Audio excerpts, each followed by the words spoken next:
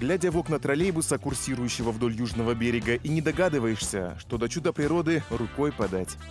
С правой стороны оживленная трасса Ялта-Симферополь, с левой стороны неприступная стена гималайских кедров.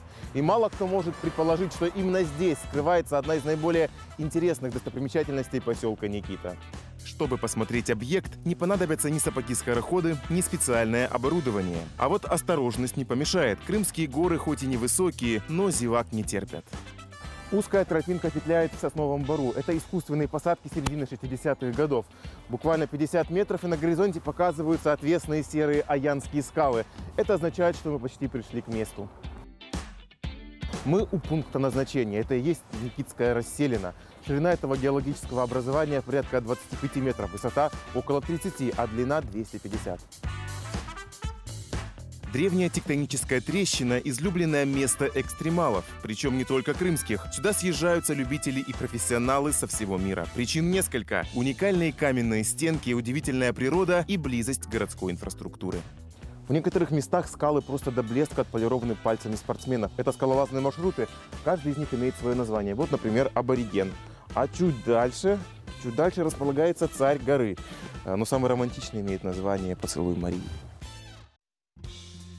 По легенде, скалолаз долго не мог добиться расположения прекрасной Марии. Девушка поставила условия. Ответит взаимностью герою только после того, как он преодолеет отвесную стену, которую никто не мог покорить. В результате и отвесная стена была преодолена, и девушка отдала обещанный поцелуй.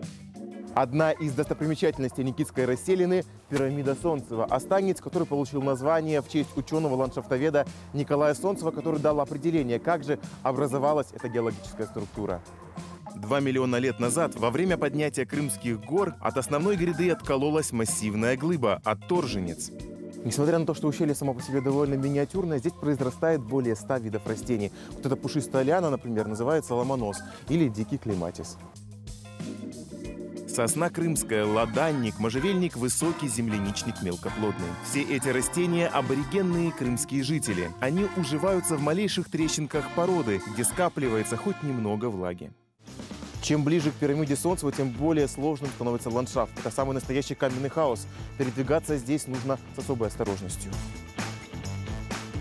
Осыпь живая, поэтому следует обдумывать каждое движение, но ни шагу назад. С вершины ущелья откроется вид Ялтинского амфитеатра, от горы Медведь до мыса Айтадо. По утверждению йогов, это место силы. В теплый период года здесь часто можно встретить эзотериков, медитирующих под звуки южного леса.